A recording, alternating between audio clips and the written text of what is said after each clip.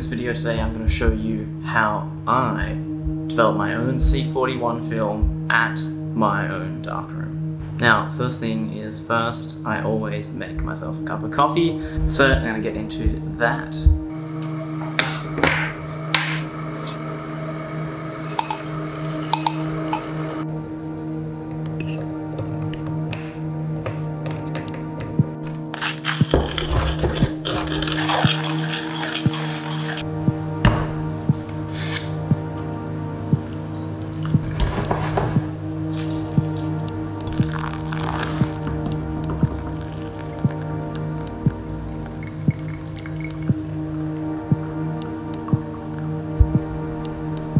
So in this video, I am going to cover how I develop all my color film in my darkroom, which is just to the side of me here. So first thing I do is I get a water bath. So the developer and the Blix both need to be at about a 102 degrees Fahrenheit. So I need to get them up to temperature as they're sitting at about room temperature. So it needs to come up a little bit. For those who are in degrees, I believe it's like 39.5. I work in Fahrenheit just to keep it um, completely cohesive because all of the manuals and so on are written for American Fahrenheit.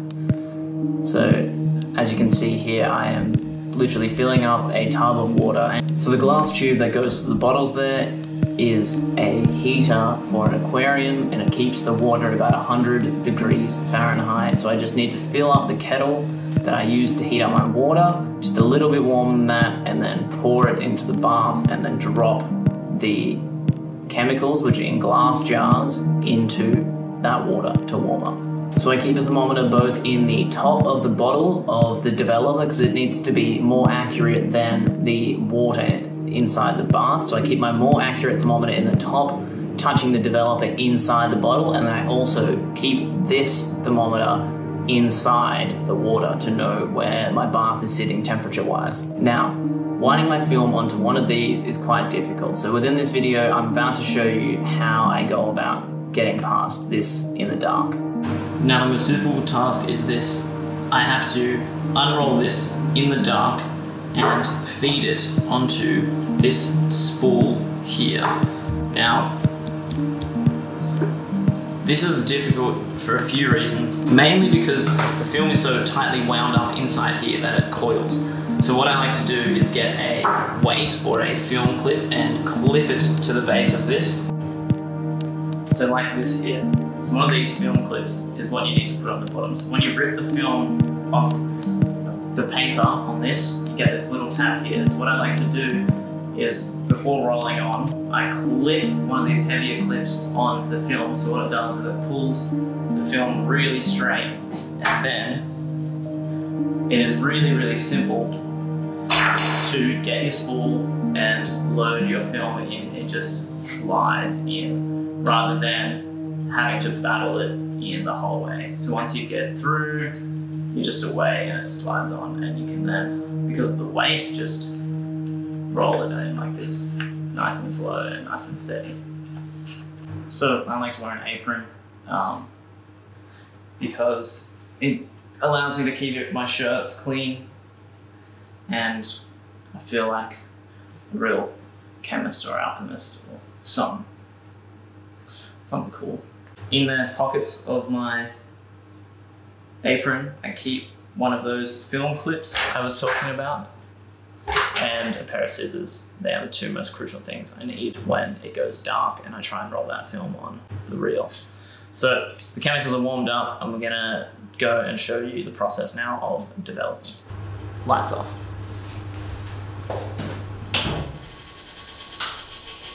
So the film is now carefully locked away within here. It This lid is light tight once you lock it in, so I can now switch the lights back on and start using some chemicals. So let's do it.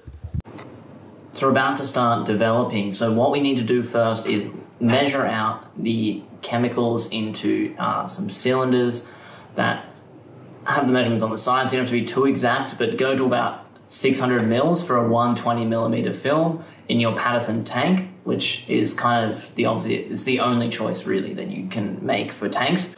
So you're gonna weigh out your developer or measure out your developer into one of the cylinders, and then while you are doing your agitation that you will see in a second, you will then rinse out that cylinder and reuse it again, or at least that's what I do. So it goes developer, then Blix, then a stabilizer. They are the three steps in this process. You're about to see it right now.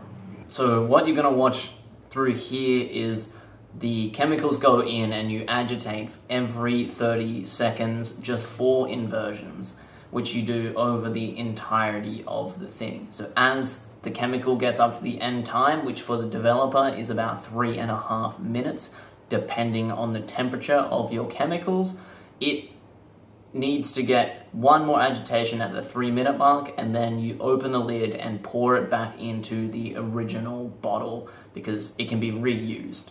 So you got to do this really quickly because the chemicals don't exactly uh, stop functioning. Once you pour them out, the developer will continue working because it's on the film still. So pour the developer out and then you're in with the next chemical, which is Blix, which follows the same rules. You pour it in and as you're pouring it in, you knock down the lid and then you agitate for the first 10 seconds. You do four agitations uh, every 30 seconds after that. And the Blix I believe, goes for about six and a half minutes, making a total of 10 minutes overall that you will be developing uh, and bleaching your film.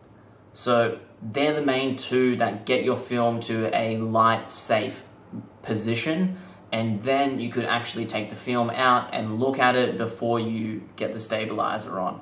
But you're gonna wanna rinse off the Blix, the bleach. So what I do is basically get the warm water that I created in that bath for those chemicals as rinsing water and, and fill up a bunch of different beakers and different cylinders to then rinse out that water. The reason I use warm water or around 102 degrees is means that you're not shocking the film by a temperature change going down to 22 degree water when it was developing in around 39 degrees Celsius this is. So you want water more around the 100 degree Fahrenheit where your, your chemicals were originally. I think you get what I'm saying.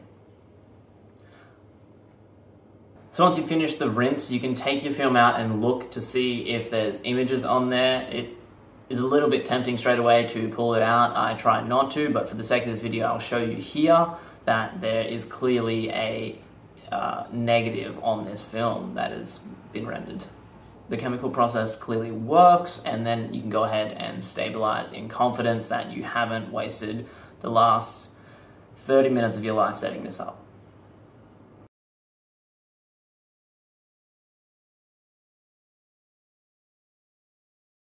And once you've stabilized the images, you can pull the film from the reel and then you have your images I like to get a little film squeegee and just wipe off the excess liquid and hang it up to dry. And that's it. Film developed. So now it's just hanging up to dry. Usually just in a dust-free place, but there we have it. Some images.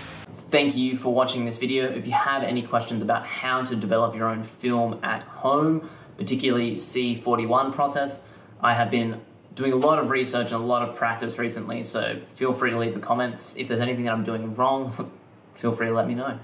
If you enjoy this kind of content and want to see more film related stuff on YouTube, please click the subscribe button and like this video as well. Yeah, that's all. Cheers. So there we have it from this to this.